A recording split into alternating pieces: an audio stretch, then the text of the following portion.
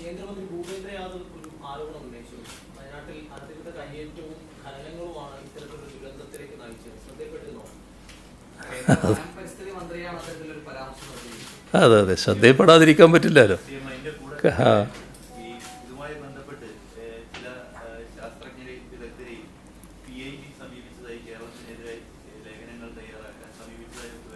ഓ. അതെ ഇത് ഇതൊക്കെ നമുക്ക് സാധാരണഗതിയിൽ പ്രതീക്ഷിക്കാൻ കഴിയാത്തൊരു കാര്യമാണ്. ഈ ദുരന്തമുണ്ടായപ്പോൾ ആദ്യത്തെ വിളി രാഹുൽ ഗാന്ധിയുടേതായിരുന്നു. രണ്ടാമത്തെ വിളി പ്രധാനമന്ത്രിയുടേതായിരുന്നു. മൂന്നാമത്തെ വിളി ആഭ്യന്തരമന്ത്രി അമിത്ഷായുടേതായിരുന്നു ഈ കേന്ദ്ര ഗവൺമെന്റിന് വേണ്ടി സംസാരിച്ച പ്രധാനമന്ത്രിയും ആഭ്യന്തരമന്ത്രിയും ഒക്കെ എന്ത് ചെയ്യണമെങ്കിലും ഞങ്ങൾ സന്നദ്ധമാണ്. എന്ത് സഹായമാണ് വേണ്ടതെന്ന് പറഞ്ഞാൽ മതി. ഞങ്ങളതിന് തയ്യാറായിരിക്കുകയാണ് എന്നുള്ള മട്ടിലാണ് സംസാരിച്ചിരുന്നത്. ഞാനത് അന്ന് തന്നെ നിങ്ങളുടെ അടുത്ത് പറഞ്ഞു എന്നാണ് എന്റെ ഓർമ്മ. ഈ ഒരു മനോഭാവമാണ് ആദ്യം അവർ പ്രകടിപ്പിച്ചതെങ്കിലും അതിൽ നിന്ന് പിന്നെയൊരു ചെറിയൊരു വ്യത്യാസം ചിലർ പ്രകടിപ്പിക്കുന്നതായി കാണുന്നു. ഇപ്പോൾ ഈ ദുരന്തം എന്ന് പറയുന്നത് അനേകം മനുഷ്യരുടെ ജീവനെടുത്ത ഒരു ദുരന്തമാണ്. അതിലുമേറെ പേരുടെ ജീവിതത്തെ വല്ലാത്തൊരു അസന്ദിഗ്ധതയിലേക്ക് തള്ളിവിട്ട ദുരന്തവുമാണിത്. ഒരു പ്രദേശത്തെ നാമാവശേഷമാക്കിയ ദുരന്തവുമാണിത്. അപ്പോൾ ഇതിന്റെ ഒരു മാനസികാഘാതത്തിൽ നിന്ന് അവിടെയുള്ളവർ മാത്രമല്ല നമ്മുടെ നാടാകെ കേരളമാകെ ഇപ്പോഴും മോചിതരായിട്ടില്ല എന്നതാണ് യഥാർത്ഥ വസ്തുത. അപ്പോൾ അത്തരമൊരു സാഹചര്യത്തിൽ ഇതുപോലൊരു ദുരന്തം ഇനിയും ആവർത്തിക്കാതിരിക്കാൻ കൂട്ടായ ആലോചനയിലൂടെ ശാസ്ത്രീയമായ സമീപനത്തിലൂടെ മെച്ചപ്പെട്ട സംവിധാനങ്ങൾ ഒരുക്കാനാണ് നമുക്ക് കഴിയേണ്ടത്. നമുക്ക് എന്ന് പറയുന്നതിൽ നമ്മുടെ സംസ്ഥാന ഗവൺമെന്റ് മാത്രമല്ല കേന്ദ്ര ഗവൺമെന്റ് അതിൽ പ്രധാന പങ്കുണ്ട്. നമ്മുടെ സമൂഹത്തിനാകെ അതിൽ പങ്കുണ്ട്. ഭൗമതാപനവും അതിന്റെ ഫലമായി ഉണ്ടാകുന്ന കാലാവസ്ഥാ വ്യതിയാനവും ഉൾപ്പെടെയുള്ള ആഗോള പ്രതിസന്ധി രൂക്ഷമായിരിക്കുന്ന ഒരു കാലഘട്ടമാണിത്. അപ്പോൾ ഇത്തരമൊരു കാലഘട്ടത്തിന്റെ ആവശ്യം കൂടിയാണിത് എന്നത് നാം തിരിച്ചറിയണം. മനുഷ്യരാശിയുടെ ഏറ്റവും പ്രധാനപ്പെട്ട അതിജീവന പ്രശ്നമായിട്ട് ഇത് മാറുകയാണ്. ഇപ്പോൾ ഈ ദുരന്തം നടന്ന സ്ഥലം ഞാൻ നേരത്തെ പറഞ്ഞല്ലോ.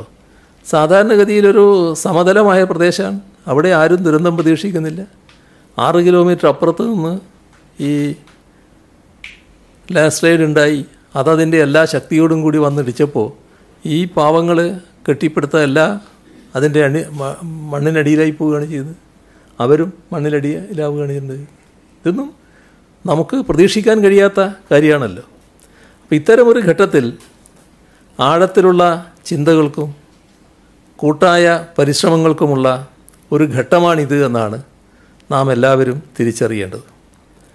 അപ്പോൾ ഇത്തരമൊരു ഘട്ടത്തെ വലിയ സങ്കുചിത താല്പര്യങ്ങൾക്ക് വേണ്ടി പൊതുവേ ഇല്ല പക്ഷെ ചിലരെങ്കിലും ഉപയോഗിക്കുന്നത് ദൗർഭാഗ്യകരമാണ്. അക്കൂട്ടത്തിൽ ജനങ്ങളെ യാഥാർത്ഥ്യം ബോധ്യപ്പെടുത്താൻ ഉത്തരവാദിത്തമുള്ളവർ തന്നെ ഉൾപ്പെടുന്നു എന്നത് അങ്ങേയറ്റം അപലപനീയമായ കാര്യമാണ്. ഇപ്പോൾ ബഹുമാനപ്പെട്ട കേന്ദ്ര വനം പരിസ്ഥിതി വകുപ്പ് മന്ത്രി ഭൂപേന്ദ്ര യാദവിന്റെ പ്രസ്താവന നിർഭാഗ്യവശാൽ അത്തരത്തിലുള്ള ഒന്നായിപ്പോയി. പ്രാദേശിക ഭരണ സംവിധാനത്തിന്റെ ഒത്താശയോടെ നടക്കുന്ന അനധികൃത മനുഷ്യവാസവും ഭൂമി കയ്യേറ്റവും അനധികൃത ഖനനവും ഒക്കെയാണ് മുണ്ടക്കൈയിലുണ്ടായ ഉരുൾപൊട്ടലിന്റെ കാരണമെന്നാണ് അദ്ദേഹം പറഞ്ഞത്. ഇതൊരു ദുരാരോപണമാണ് കേട്ടോ. ഇത്തരമൊരു ദുരാരോപണത്തിലൂടെ ദുരന്തത്തിനിരയായ മനുഷ്യരെ അവമാനിക്കുകയാണ് ചെയ്യുന്നത്. ആ ഹതഭാഗ്യരുടെ ജീവൻ നഷ്ടപ്പെട്ടല്ലോ കുറേ പേരുടെ. അവരെ ഈ രീതിയിൽ അവമാനിക്കാൻ പാടില്ല. അനധികൃത കുടിയേറ്റക്കാർ അത് ഈ ദുരന്തത്തിൽ മണ്ണടിഞ്ഞു പോയ ആ പാവപ്പെട്ടവരാരെങ്കിലും അനധികൃത കുടിയേറ്റക്കാരാണോ? അവിടുത്തെ പാവപ്പെട്ട എസ്റ്റേറ്റ് തൊഴിലാളി അനധികൃത കുടിയേറ്റക്കാരാണോ? ആ ഭൂമിയിൽ ആ ഭൂമി അവരുടെ സമ്പാദ്യത്തിന്റെ ഭാഗമായി സമ്പാദിച്ച ചെറിയ തുണ്ട് ഭൂമിയാണ്. അവിടെ ജീവിച്ച അവർ ആരെങ്കിലും അനധികൃത കുടിയേറ്റക്കാരാണോ? ആ പ്രദേശത്തെക്കുറിച്ച് നമ്മുടെ കേരളത്തിന്റെ മലയോര മേഖലയെക്കുറിച്ച് ചെറിയൊരു ധാരണയെങ്കിലും ഉണ്ടായിരുന്നെങ്കിൽ അവിടെ ജീവിക്കുന്ന മനുഷ്യരെ അനധികൃത കുടിയേറ്റക്കാരായി മുദ്രകുത്താൻ കഴിയുമോ? കേരളത്തിലെ മലയോര മേഖലയിലുള്ള കുടിയേറ്റത്തിന് യഥാർത്ഥത്തിൽ നൂറ്റാണ്ടുകളുടെ പഴക്കമുണ്ട്. ദുഷ്കരമായ സാഹചര്യങ്ങളോട് മല്ലിട്ട് അവർ പടുത്തുയർത്തിയ ജീവിതത്തിനും സംസ്കാരത്തിനും സുദീർഘമായ ചരിത്രവുമുണ്ട്. അതിനെക്കുറിച്ചൊന്നും ഒരു ധാരണയുമില്ലാതെ ഈ മലയോര ജനതയെ ആകെ കുടിയേറ്റക്കാരെന്ന ഒരൊറ്റ അച്ചിൽ ഒതുക്കുന്ന പ്രചരണങ്ങൾക്ക് ഉത്തരവാദപ്പെട്ട കേന്ദ്രമന്ത്രി തയ്യാറാകുന്നത് ഏറ്റവും ചുരുങ്ങിയ രീതിയിൽ പറഞ്ഞാൽ ഔചിത്യമല്ല. അനധികൃത ഖനനം നടന്നതിനാലാണ് മുണ്ടക്കൈയിൽ ഉരുൾപൊട്ടിയത് എന്നാണ് അദ്ദേഹത്തിന്റെ വിചിത്രമായ വാദം. പക്ഷേ നാം കാണേണ്ട ഒരു വസ്തുത ഈ മുണ്ടക്കൈ ലാൻഡ് സ്ലൈഡ് ഏരിയയിൽ നിന്നും ഏറ്റവും അടുത്ത കോറിയിലേക്കുള്ള ദൂരം പത്ത് ദശാംശം രണ്ട് കിലോമീറ്ററാണ്. ഇതാണ് സത്യമെന്നിരിക്കെ എന്തിനാണ് കേന്ദ്രമന്ത്രി തെറ്റായ കാര്യങ്ങൾ അവതരിപ്പിക്കുന്നത്? വയനാട് ദുരന്തത്തിൽ ഇവിടെ പറഞ്ഞു കേരളത്തിനെതിരെ എഴുതാൻ ശാസ്ത്രജ്ഞരെ കേന്ദ്ര സർക്കാർ സമീപിക്കുന്നു എന്ന വാർത്ത അത് നിങ്ങളുടെ ശ്രദ്ധയിലും പെട്ടു എന്താണല്ലോ ഈ ചോദ്യത്തിന് ആധാരമായി വന്നത്.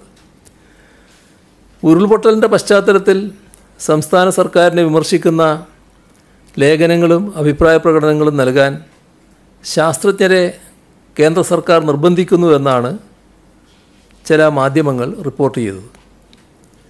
പ്രസ് ഇൻഫർമേഷൻ ബ്യൂറോ വഴിയാണ് കേരള സർക്കാരിനെതിരെ ശാസ്ത്രജ്ഞരുൾപ്പെടെയുള്ളവരെ അണിനിരത്താനുള്ള ഈ ശ്രമമെന്നും റിപ്പോർട്ട് ചെയ്തിട്ടുണ്ട്.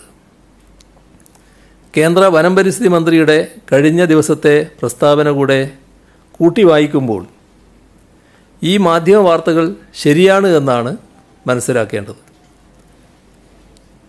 ആരെ ദ്രോഹിക്കാനാണ് ഈ പരിപാടി? അതിനല്ലേ സാധാരണ ഈ പെയ്ഡ് ലേഖന പരിപാടി എന്നൊക്കെ പറയുക അത് ആസൂത്രണം ചെയ്യുന്നത് എന്ന് അവർ തന്നെ ആലോചിക്കേണ്ട കാര്യമാണ്.